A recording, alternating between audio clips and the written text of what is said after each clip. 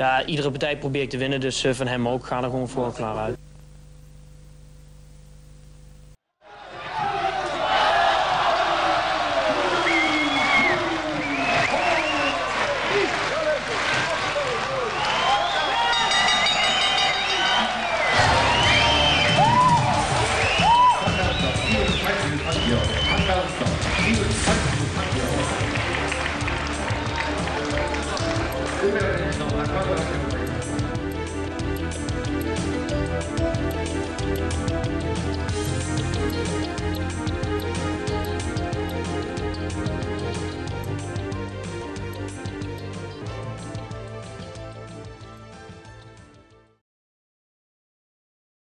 Alles wat ik eigenlijk in het dagelijks leven doe, dus mijn manier van denken en al, alles wat ik doe, is ontstaan door vechtsport.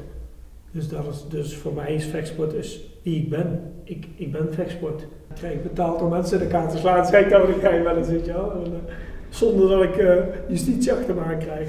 Maar dat is, ja, ik ben, ik ben vechtsport.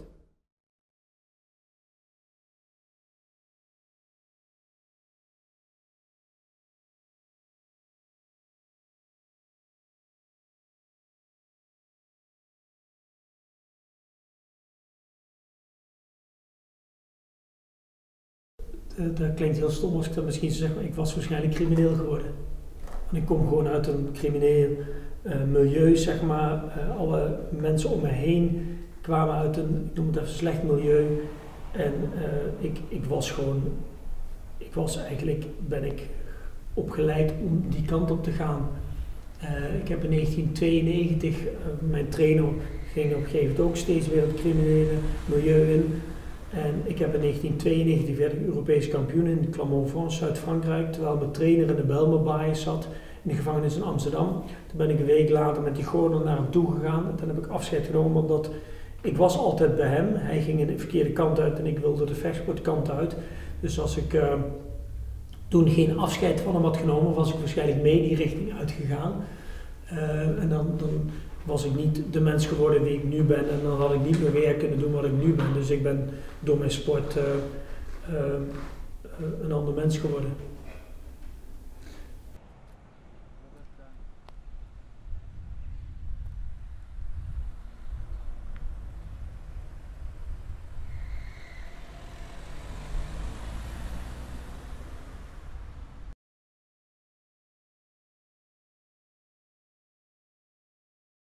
vanaf mijn tiende wedstrijden gaan doen. En uh, vanaf mijn dertiende is een beetje kreeg ik in de gaten nee, dat ik talent had. Toen had ik al heel veel wedstrijden gewonnen en het ging heel goed.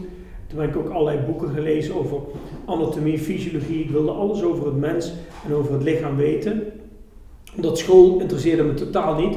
En in de kickboxschool, uh, ja, ik was toen de tijd een van de enige kinderen, dus ja, ik liep daartussen vast. Ik vond dat geweldig. Ik kon helemaal doen wat ik wilde en mijn energie kwijt. En, ik een gegeven de hele wereld rond. Ik bedoel, zonder dat ik enige opleiding heb gevolgd, of weet ik dat, ik wel van Japan tot uh, Thailand, uh, Las Vegas. Uh, ja, voor mij was dat geweldig. Ik, ik heb een super, super carrière gehad, maar vooral ook een, een, heel leuk, leuk leven. Ik was neergegaan en dat, dat mijn vrienden zo hard Perry blijft liggen en dat ik overeind stond en, en verder wilde. Terwijl ik op dat moment misschien mijn tegenstander beter was of of mij overklaste, maar, maar ik heb nooit opgegeven. En ik denk dat uh, uh, niet opgeven, dat dat wel een, een heel sterk iets is, door willen gaan, waar anderen misschien stoppen.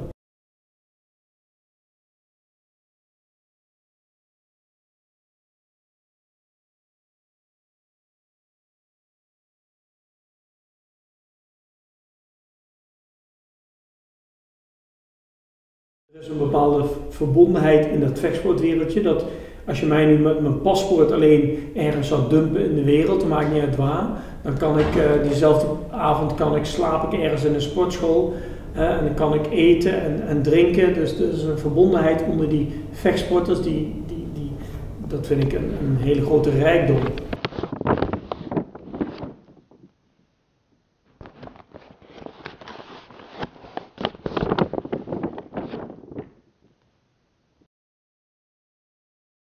Het is hard, jij en ik staan tegenover elkaar en ik probeer jou plat te slaan en jij probeert mij plat te slaan. Maar er is wel een enorme uh, verbondenheid, zelfs tussen mijn tegenstander en mij.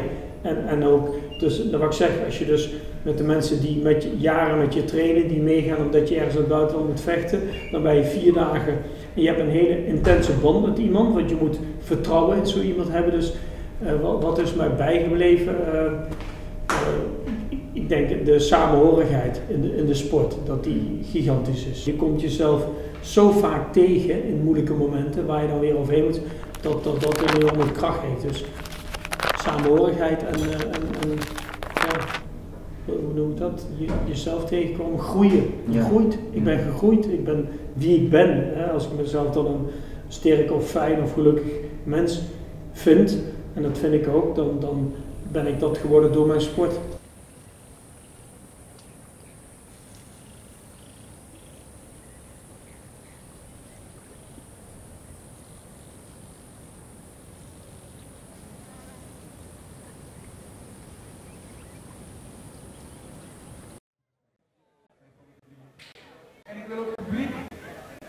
Zitten, na de partij, wat ook iedereen blijft buiten de ring.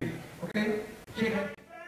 Zo maar even handschoenen aan. Oh, door een wedstrijdje kickboksen, daar, gaat ja, vooral op professioneel, jaren training en, en pijn en emotie en allerlei uh, momenten overwinnen om daar te komen staan. Dus je hebt dan een enorme band voor elkaar. Ik noem even iets geks. Uh, uh, ik vocht in, in Nijmegen in 98 tegen Balrak, dat was best een beladen partij. Die trapte ik op een gegeven moment knock-out. En op dat moment voel je jezelf een mannetje, want ja, je hebt iemand knock-out getrapt en hij ligt knock-out en je bent de winnaar.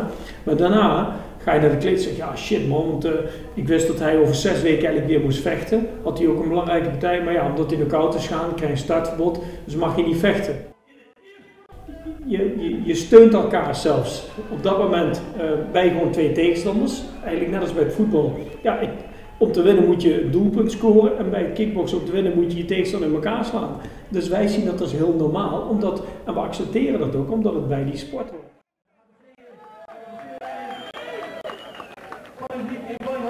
En natuurlijk al de van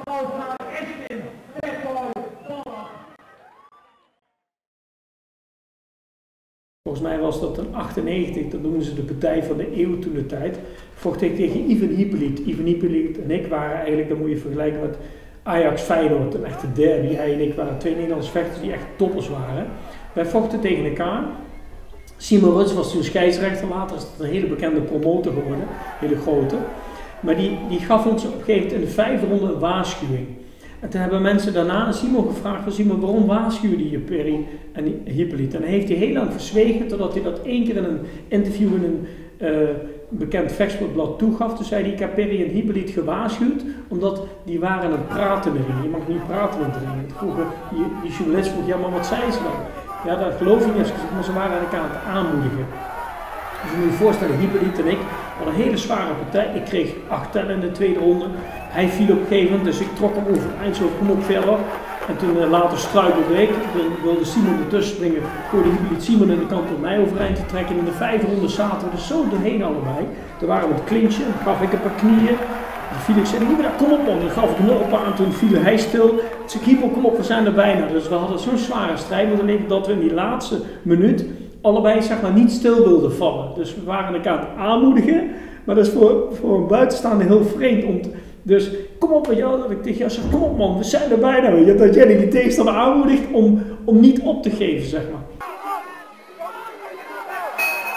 Einde van deze fantastische partij. En ik heb het al gezegd, misschien al de partij van 1998.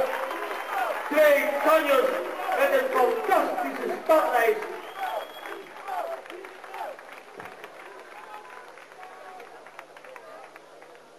Wat een partij.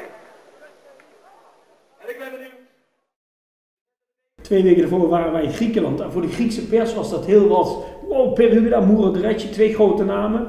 In Griekenland. Dus de Griekse pers wilde ons, die wilde een face-to-face -face maken. Maar, maar dan moet je je voorstellen, wij moesten dus stoer tegenover elkaar gestaan, zo alsof we kwaad waren. Maar die avond ervoor waren we op, stap geweest en in een nachtclub beland. En ik heb daar staan te strippen. Ik had een borrel op. Dus ik uh, tussen die striptease meiden op uh, in mijn onderbroek gestaan en zei. Maar wij staan dus een dag later, brak ik van het drinken hij niet. Tegenover elkaar moesten we voor de, voor voor de pers een face-to-face. Dus wij schoten iedere keer aan de lach. Ik, ik zie jou in mijn onderbroek voor me staan. Dus, maar die pers snapt er niks van. Want voor, voor ons is dat heel normaal. Maar voor die Grieken was dat wow, twee topvechters. Die, die eigenlijk heel kwaad op elkaar zitten elkaar uit te lachen. Maar die wisten dus niet wat er tussen ons speelde. En, en, en ja, als je, eh, even als je dan vraagt wat, wat, wat vind je mooi en wat heb je dan is dat, vind ik, dat, is, dat zijn dat je mooiste momenten uit, uit de sport. Dat, is, dat heeft voor mij eigenlijk ook veel meer waarde dan, dan dat je weer, natuurlijk is het leuk, het ultieme kampioen worden. Maar dat heeft, die verhalen, die, die dingen die ik heb, die hebben voor mij veel meer waarde dan zo'n gordel, zeg maar. Dat is heel leuk. Dat is teken dat je kampioen bent geweest met hetgene wat er omheen zit. Dit is iets wat, want laatst zei ook iemand, stel dat jouw sportschool Perik, dan ben je al die dingen kwijt. Ik zei, ja, uh, die dingen zou ik opnieuw kunnen laten maken. Die kun je kopen, noem ik het even. Die kan, laat ik weer nieuw maken. Maar die dingen ben ik wel kwijt, maar de verhalen niet. Dat, dat, dat geeft veel meer, dat heeft veel meer impact dan, dan een zo'n stukje metaal.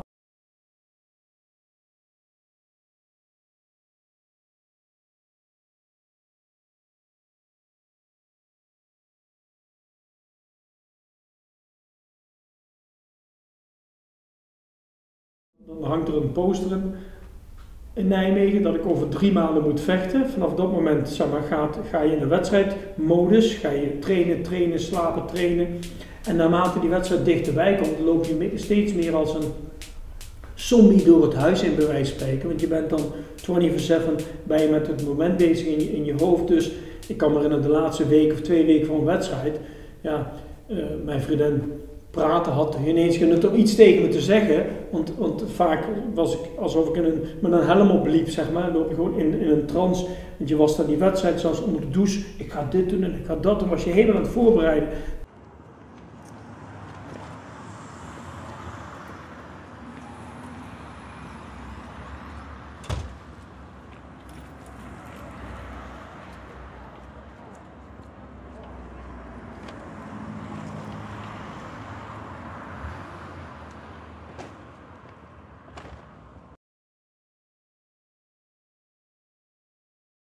Ik denk dat het voor mijn omgeving uh, moeilijker is geweest dan voor mijzelf.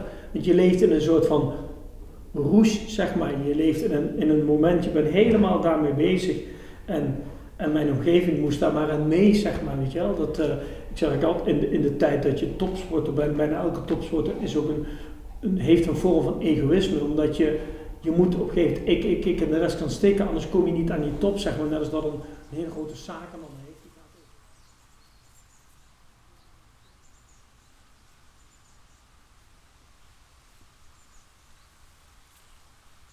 Geen school afgemaakt, maar wel al vanaf mijn dertiende boeken gaan lezen anatomie. Ik wilde alles over mens weten. Dus, dus ik had gewoon interesse in een mens, zeg maar. Dus, dus er heeft waarschijnlijk wel al iets ingezeten. En daar, daar later, toen ik daar helemaal in ben gedoken, is dat alleen maar uh, sterker geworden. Die wil, die wil om mensen te helpen en het, uh, ja, gewoon met mensen bezig zijn.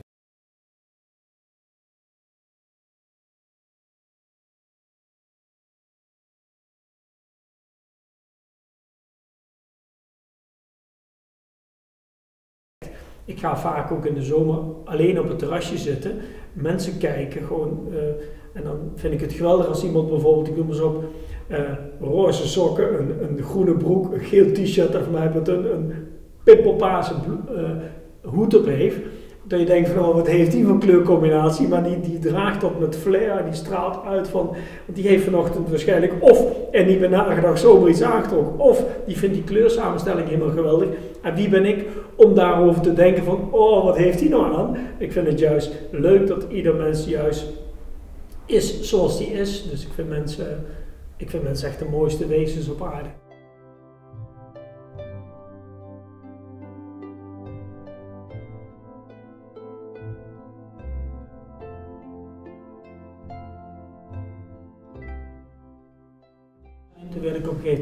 Of ik in Hunenberg hier in Nijmegen in de wilde lesgeven. Ze vonden het daar ook geweldig dat de jongeren dus uh, elkaar stimuleerden, elkaar coaching gaven tijdens mijn lessen. Ze zagen ook echt dat ze dus uh, er nog steeds over hadden van oh, nee, maar met de les heb je me goed geholpen, dankjewel nog. Hè? En, en toen ben ik daar steeds vaker voor gevraagd en op een gegeven moment ook in jeugd-TBS-klinieken.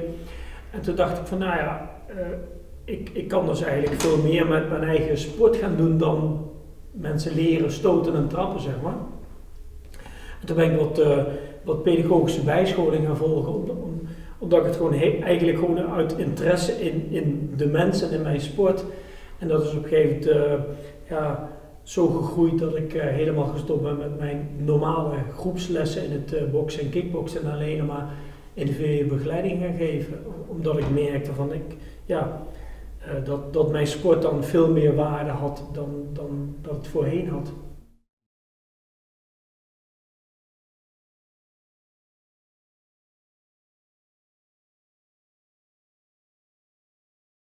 Zouden jij en ik misschien bij een bushalte staan en je stelt dat jij bent advocaat en je staat er in je driedelig pak en ik sta er in mijn korte broek en slippertjes en ook sportkleding aan dan, hebben wij, dan geeft die kleding eigenlijk al een, uh, een scheiding tussen ons. Dan hebben wij waarschijnlijk niks, want jij staat er met je aktentasje en ik met mijn sporttas bij wijze van spreken. Dus hebben wij misschien niks met elkaar, praten we ook niet. Maar in de sportschool maakt rang of stang of, of, of afkomst... Uh, uh, maakt, maakt geen bal uit, omdat je dus allemaal op je blote voet staat en een bokserschoenen aan, in mijn geval bij een bokschool. Dus dan hebben mensen veel meer connectie met elkaar. Dus ik, dan is wat, wat, je ook zegt, dan is die, die buitenkant, die kleding, is dan niet van belang.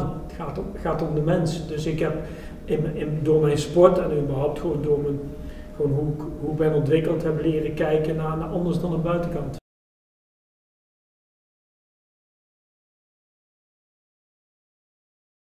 doordat ze uh, door mijn uh, lessen uh, wat weerbaarder zijn geworden, daardoor meer vertrouwen in zichzelf hebben gekregen en zichzelf ook wat meer um, in, in, zeg maar, in het goed daglicht gaan zetten, meer voor zichzelf over hebben. Zichzelf niet meer aan de kant zetten, maar ik ben belangrijk en op het moment dat je gaat ervaren van ik ben belangrijk, ik, ik, ik doe ook toe in deze samenleving, dan ga je dat uitstralen en ga je lekker in je veld zitten. Dat is wat ik vaak merk.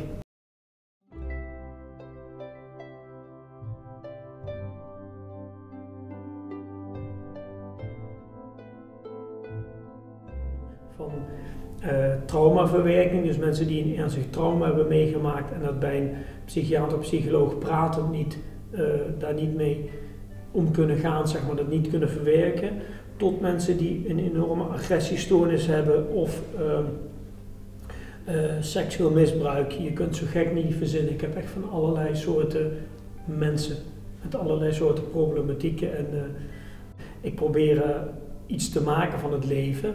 En als ik dan zie dat, dat cliënten van mij dat op een gegeven moment ook gaan overnemen en ook uh, wat meer van het leven gaan genieten, zeg maar. Dat is, want ik vind dat iedereen heeft het recht in die tijd dat je hier bent om, om te, te genieten. En dan moet je, uh, als ik daar een bijdrage kan leveren, dat is denk ik het mooiste wat je kunt doen. Als mensen die eerst niet genoten dat nu wel doen, ja, wat moet je dan van meer van, van beloning hebben, denk ik.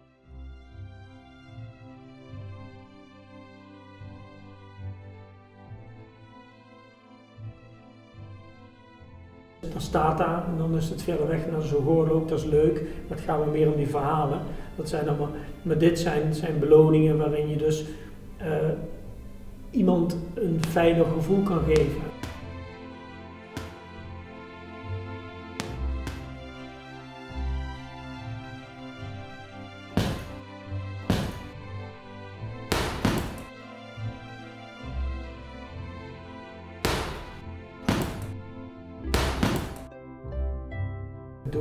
Ziet van hey, uh, allerlei mensen hebben problemen en, en ik, ik kan daar een bijdrage leveren om, om daar, om, zodat die mensen zich beter gaan voelen en dat geeft, voedt mij ook weer.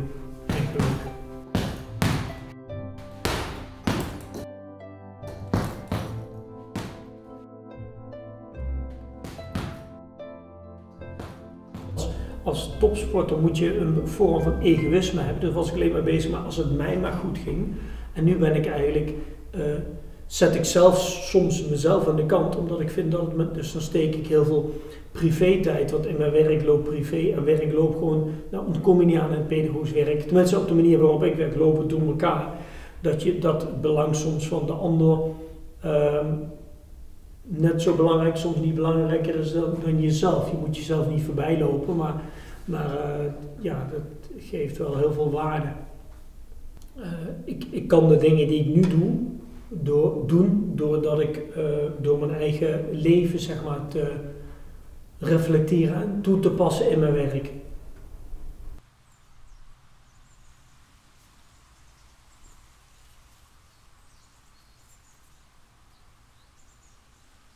Er is niks vervelender uh, voor mensen om je niet weerbaar te voelen, zeker je angstig te voelen. Er is geen enkele emotie die in zoveel verschillende uh, soorten is dan angst. Je hebt allerlei soorten angst, van angst voor spinnen tot angst voor hoogte tot uh, kleine ruimtes, maar ook onveilig voelen. dus angst is een hele vervelende.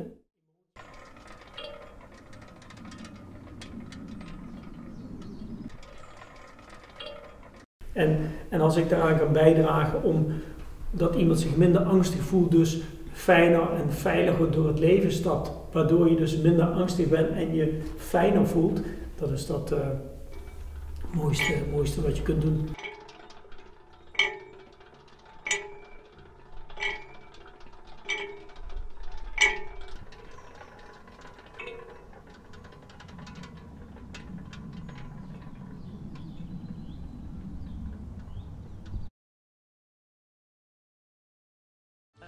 I feel before the fight, I have a little bit fear. I think he's a die, good kicker, but the first kick I give was hard. And I saw he thinking, ooh, the Dutch guy Holland is kick hard. So I go, I feel strong. Every round I feel strong, was good. Yes, okay, yes. Natuurlijk een vechtmachine en ik heb agressie in me, want anders word je nooit geen kickboxer. Dan zou je geen kickboxer kunnen worden. Kun je andere mensen niet in elkaar slaan, en dan, hou je niet van vechten. Dus ik heb een vorm van agressie in me. En omdat ik daar mee heb leren dealen gedurende mijn training en carrière, kan ik dat zeg maar, en ik weet hoe dat voelt om agressief te zijn, kan ik daar anderen mee helpen. Die die kennis nog niet over een lichaam en geest hebben die ik wel heb.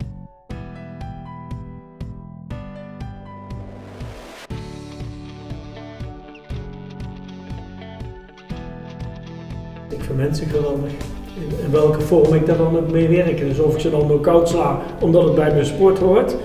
en, en voor, of dat ik ze dus inderdaad probeer te helpen. Het is inderdaad, staat dat zwart-wit tegenover elkaar, maar dat is dan ook weer in balans.